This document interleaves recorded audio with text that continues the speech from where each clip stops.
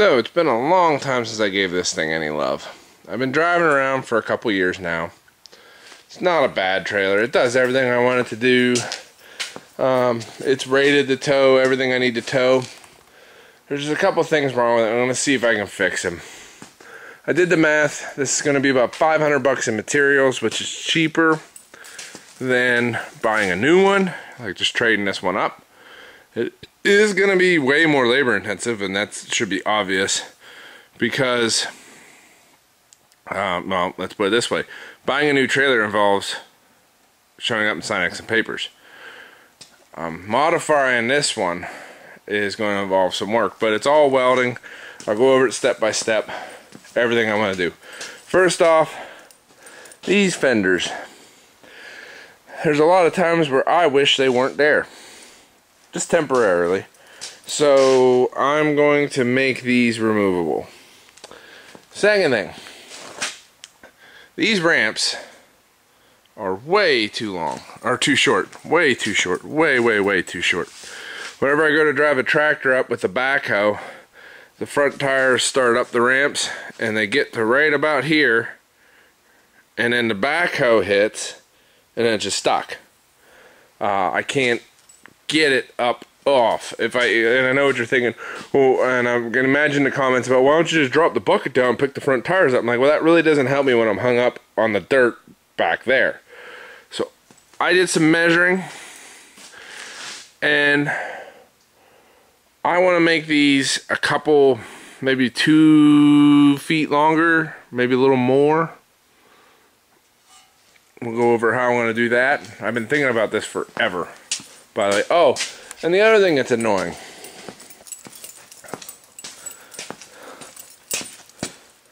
Look at that gap. Look at that gap. This bar is so bent that you can't slide the ramps the way. And I love the fact I can slide them almost to the middle. Um, there's a lot I really like about this trailer too. Uh, I added all the D-rings. I love D-rings. I'm not a big fan of stake pockets even though this trailer does have a couple of them. Uh, I just really like the D-rings. I love my, especially like, you know, those guys up front. I added the little wing rings.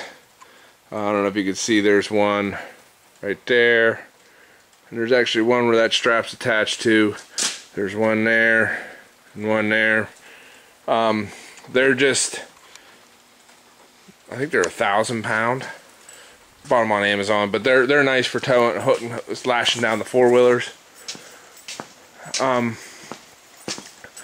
I'm gonna redo some of this up front. I'm not sure if I'm keeping that box or not. I do need something to store my chains in. This box is most likely gonna stay, along with the winch.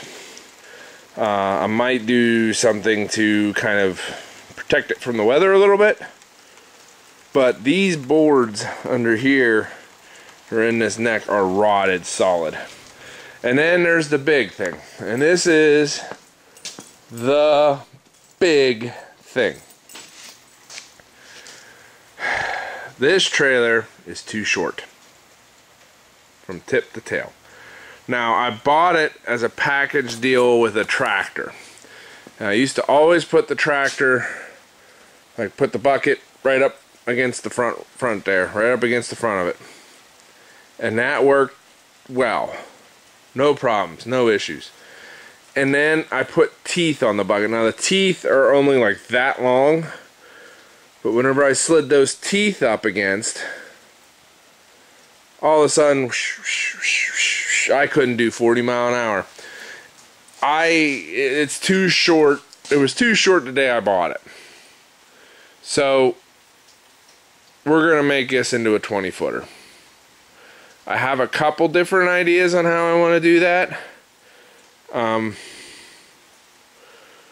I know I know what I am going to do though is I am going to split it right there and probably right there. Split it and lengthen it here and lengthen it there. All these boards are going to have to come off. I'm just not sure and I want to decrease this approach angle just a little bit. Um, I checked some other trailers. It's supposed to be like, I think like three degrees, and this one's at seven. which I know doesn't sound crazy, but I'd like to be able to put cars on here too. I do have another trailer for nice cars, but I want one for, you know, with the winch for pulling them out of a field, because that's what I'd like to do for a long time. And we're going to do some other stuff to clean it up. Alright, first job first, I'm going to get these ramps off, which involves sliding this bar out, which they are only held on by that bolt. So I should be able to fold them both down, pull these bars out, and get on with it. Alright, here's the getting on. Getting on.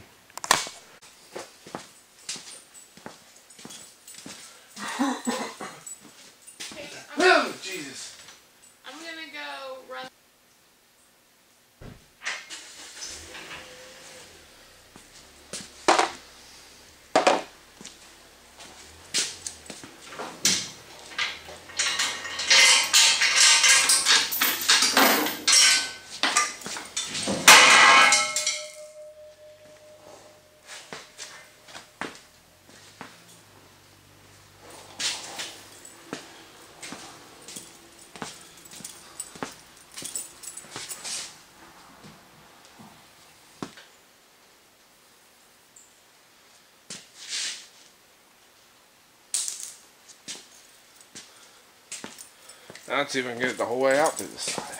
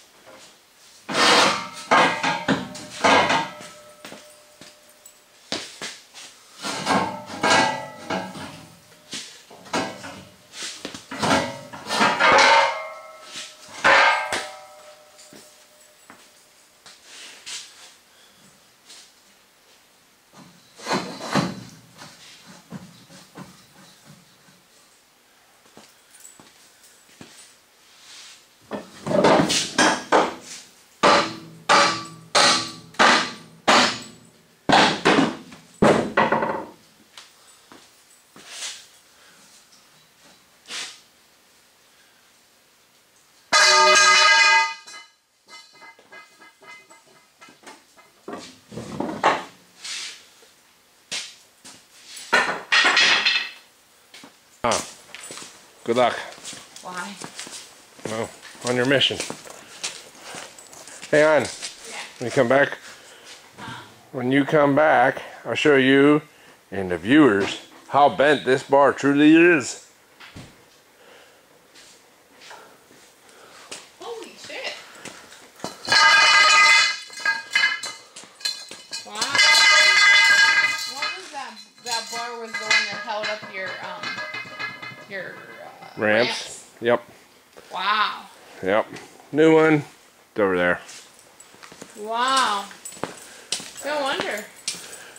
Bar. Yay. Okay. I'm gonna be DT uh, D wait DF TD done for the day. So I've been sitting here contemplating and thinking and thinking and contemplating and wondering and thinking and contemplating. That well, first off, that piece of channel I got under that's four inch channel. And the reason I'm using 4 inch channels because to load the tractor I always set the ramps down on 4x4 wooden blocks which I know according to math is uh, actually 3.5 by 3.5 so if I do 4 I should be good. And then I laid this piece on to get an idea of how long it would be. And that's where I screwed up because if I made it this long, it would be three inches up from this side, so that would actually change this tilt and this angle. If I measure from here to where, on a straight line along the bottom, where it touches on the ground is roughly two feet. So I need to add two feet to get that angle right there. Two feet to the three inch. And I'm also going to add a little foot to the end of it. But that's good news because the one thing I was kind of concerned about was the height of my door. Please don't mind the strobes. My kids were playing with my light. Um, the height of my door is 10 feet. So I measured off the trailer because originally I was going to add three feet to each one. And I measured off the trailer to see what would fit through the door with the rams folded up. And it looks like 32 inches is a nice, comfortable zone where if I, you know, hit a bump or something, or let's say I ran over a three inch piece of steel or something, the trailer wouldn't hit the door frame. I would still have about, you know, roughly a three or uh, uh, five or six inch gap, which is, you know, breathable for me. So, it looks like about two feet is going to be the magic number. I might stretch it out just a little bit, just because, um, you know, go big or go home. Like, I got the room to spare. But like I said, I want to add like a little bit of either a piece of angle or a flat plate so that you're not, whenever you're climbing up on to the trailer, you're not just hitting this three inch ledge and going up. Or the other idea I'm toying with is actually taking and trimming the angle to a point and then laying a plate over top of that. I don't know what I would like to. I might look at some pictures of some trailers for a few minutes for some inspiration, but that's where I'm at. and the pipe I bought is not the same diameter as the old pipe. And I'm contemplating if that is going to bother anything. to give you an example of how much difference there is, if I can, oh, hold on, I can do it with this one.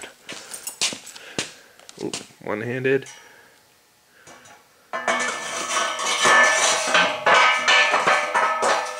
I mean, there's like a good 3 eighths, half inch diameter difference. I actually measured out, it's closer to 3 eighths. I shouldn't say half inch. Because this one is roughly an inch, 5 eighths outside. And this one is just shy of 2 inches. So I'm contemplating if that bothers me enough to change the pipe. The thing I'm worried about is too much rattle, but then again I gotta remember, it's a leaf sprung trailer with these hanging off the back end. So rattles are gonna happen.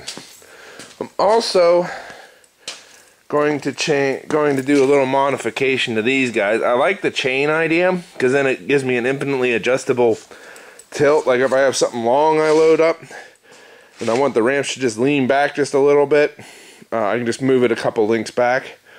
But, and it's a big but, um, there's no way there to secure the chain actually. Like if I hit a good bounce, and the chain and it came loose and the chain came up and it would just slide right out so I'm going to come up with some sort of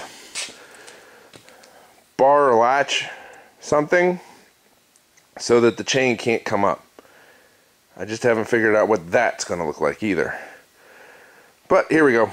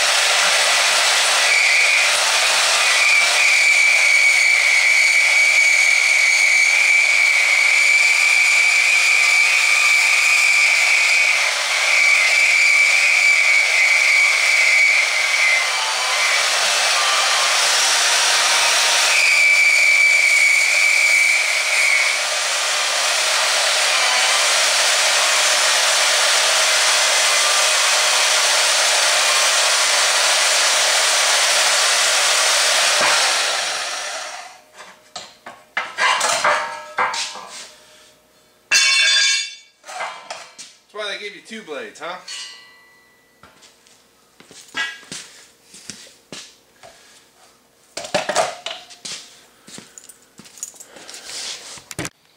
Alright, you guys see me cut that end piece out. Uh, the reason I cut it out is because it was welded to the bottom, I guess so your tires rolled up a little better or something. But since it's no longer the end of the ramp, I want to move it up to the top like the rest of these. And I haven't 100% figured out what I'm going to do with the new bottom, but I have an idea. We'll see if it changes. I'm not going to give it away yet. But as you can see, I have ground all the paint back and put a good bevel on. And I'm going to show you in a few minutes once I chop up a piece or two of steel how, um, how I'm going to clamp it up. Alright, let's do this. So this is true of like any new milled steel, especially structural steel. You can see, I hope you can see, I'm sorry, if I pointed at you, you'd be able to see how messed up this end is. The ends, unless it's a cut end, usually aren't square. So the first thing I want to do is go ahead and square it up by cutting off just a tip bit and a chuck off.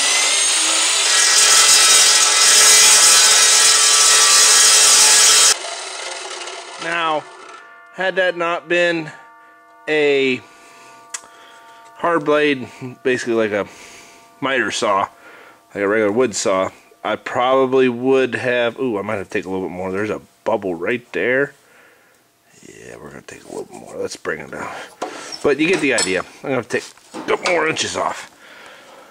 Make sure you square your end. If it was a, um, what I call a grinding style chop saw, I probably would have moved it a little further past the edge because you know you don't want your saw blade to walk. And then you'd have even more of an angle. But yeah I'm gonna take another cut and then I want to mark it and then actually cut it. Well there you go. That's about what I got so far. I'm still working out a couple of the finer points. Like trimming them edges down, how I want to do that. Haven't quite figured it out yet, but uh, here's to hoping.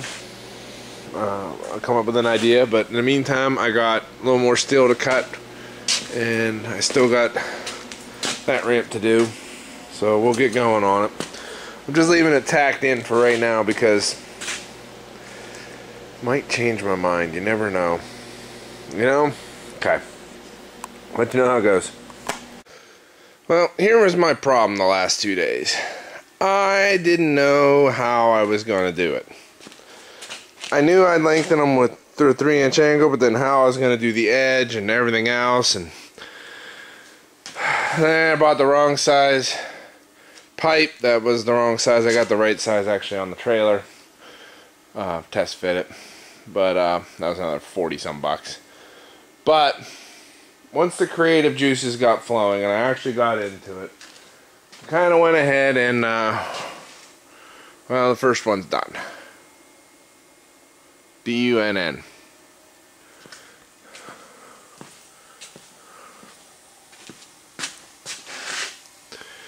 And I'll show you how I did it. And maybe without redoing a lot, because that's what I would kind of do. I would do something, take a step back, do something, take a step back but it's gusseted. Right about here was where the cut was. Well, actually not the cut, but where the old ramp ended.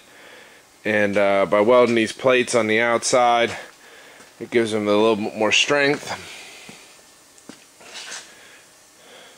in that area. Yes, I did grind the welds back flush, but I just think it looks better that way. More of an aesthetic choice. But I'm to go over how I did it. I've already cut all my material. I got the new center sections cut. I got that plate cut. That is a 3 8 plate.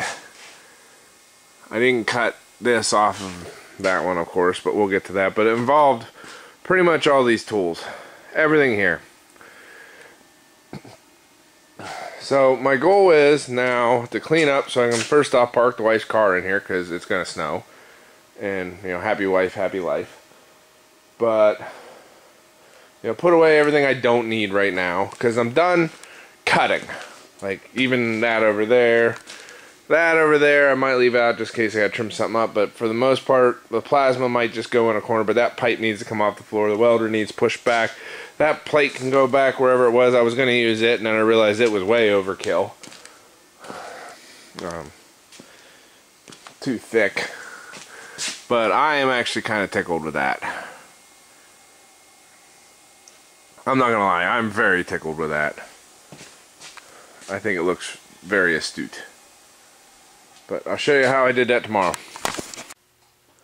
So, um, complications may arise. This is a little Hypertherm 30. I've had it for probably about 10 years.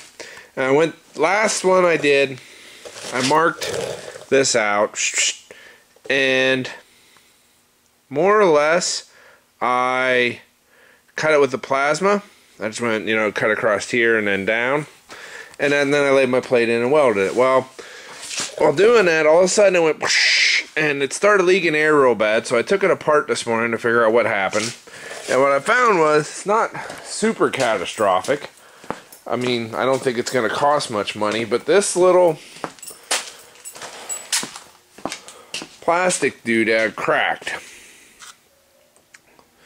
And you can see the crack right there. One right there. It's cracked in three places, actually. I don't know what happened. I mean, there's no, the filter's not full of garbage or anything. So we're going to give this guy a shot and see if that fixes it. Ooh, got a runner going down into the threads. That's not good. I think, uh, well, I, I think honestly, I think it's just screwed. I'm going to have to get a new one. Anyway, we're going to push this off to the side.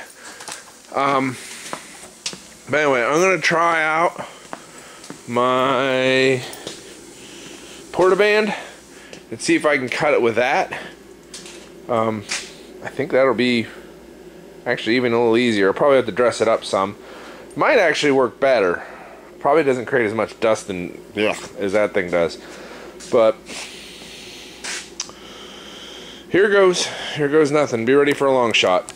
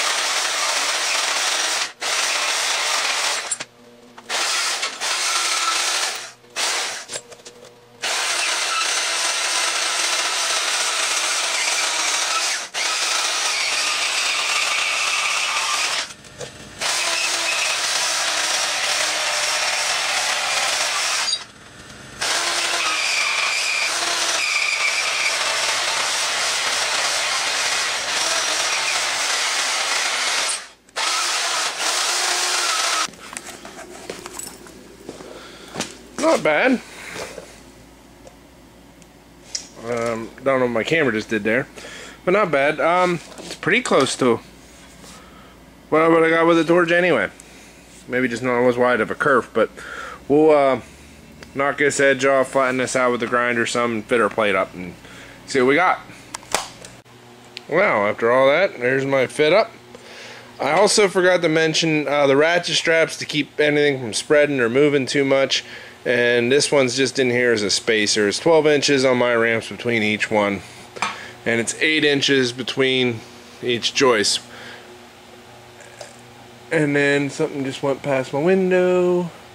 Don't know what that was. Anyway um, so what I'm gonna do is tack this sucker in tack it here tack it there weld it clamp it flip it weld it weld it weld it.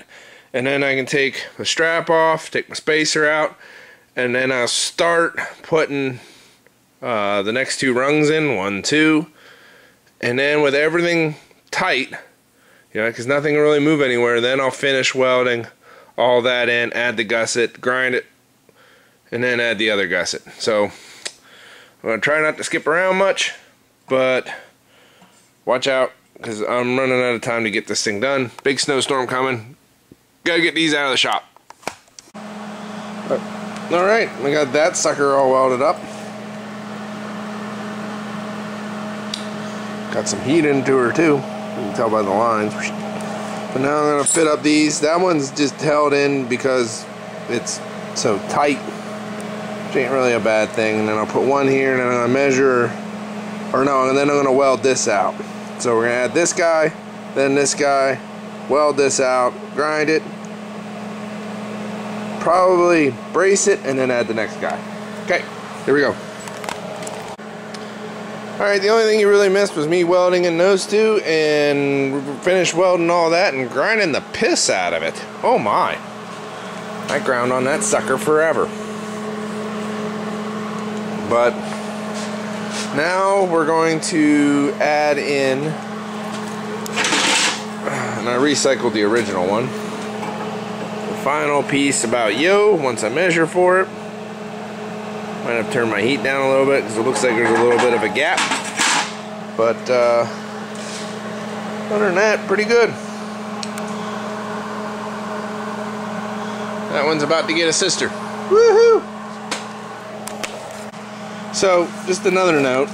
I'm sorry I left my welder running because I plan on getting right back into it. But whenever I weld this up, this, if you can, just add a little more rigidity do it right over your seam. So it's actually braced on the inside and it will be braced on the outside as well. Just a thought. Alright, more zipping to go on.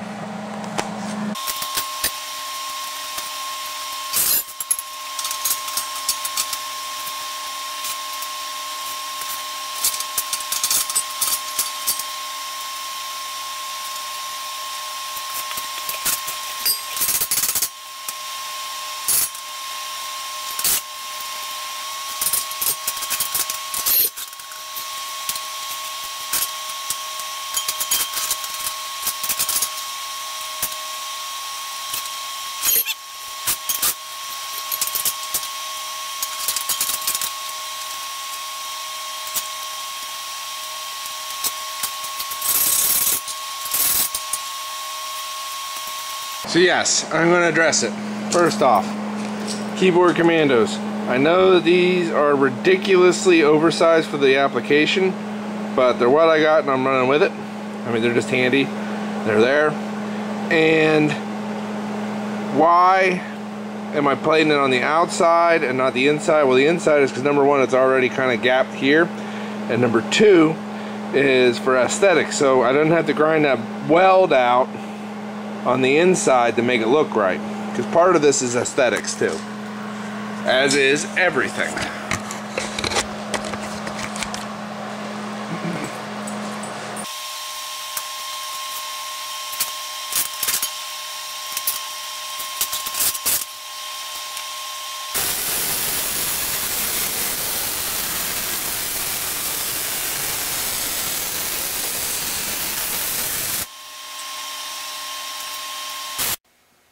So, we got those finished. I know my camera ran out of memory. Uh, my memory card, and I didn't notice it when I was filming last, so I don't know what all you got, but yeah. I welded these plates on. This is just to add a little more bolstering strength here.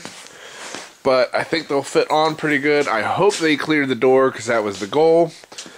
And look at that. I mean, just that bar straight on there so nice. Ooh, excuse me, so nice. I'm gonna give it a little soak with some fluid film, slide these puppies in there, and put them on. Well, I got an eight foot high door. It'll be close. I hope I don't swell up the driveway far enough, but I'm gonna pull it forward and we'll see if I uh, achieve my goals. Yep, we're not gonna make it. Um, so I had measured before. I backed it in, and the only thing I can conceivably think of as to why my trailer got taller would be that thing. I didn't account for the fact that I straightened the bar out. So that might have caused a little wiggle where these ramps now actually sit more vertical. But the solution is to uh, let a couple links out. So here we go. See there, I let uh,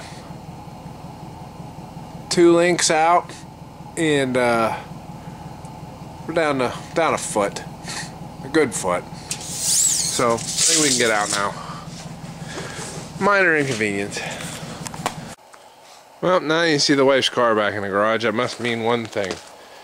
Another project is over. But the ending of one is the beginning of another. And I don't know if you can see it, but I think my ramps make my trailer look short. I don't know, they're really long. Uh, aesthetically, they look like crap. They're a little bit heavy. I mean, they, they don't look like crap. They don't look right on the trailer. But functionality wise, they should be great. But getting back to what happened on the way in and out, I was originally going to add three feet to each ramp. I only ended up adding 32 inches because as I backed in, I thought, whenever I got close to the door, I measured and I thought, well, there's no way if I add 36 inches that that sucker will fit in there. But as I was leaving, I noticed something. As you can see here, the ground stays level, stays level, and then it swells up to there and then goes out. And during that swell, whenever the ramp doors got close to the garage door, focus, focus. Anyway, the the back end of the truck dipped down, which caused, or went up, which caused the back end of the trailer to go down. Because as the truck goes up, the trailer goes down. So I think it might have cleared, but I'll just have to keep that in mind from now on. I'm not going to go back through and try to chop, you know, four more inches out of the ramps. That would just be way stupid. But I got what I wanted. I got what I thought I wanted. Whether or not it's what I actually wanted, we'll have to see.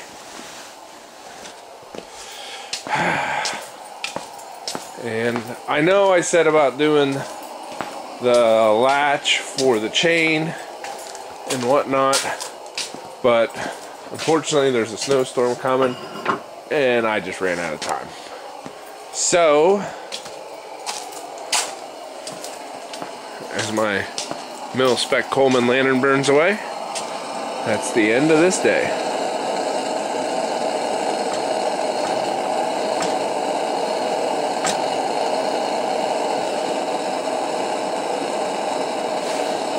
It'll go out eventually.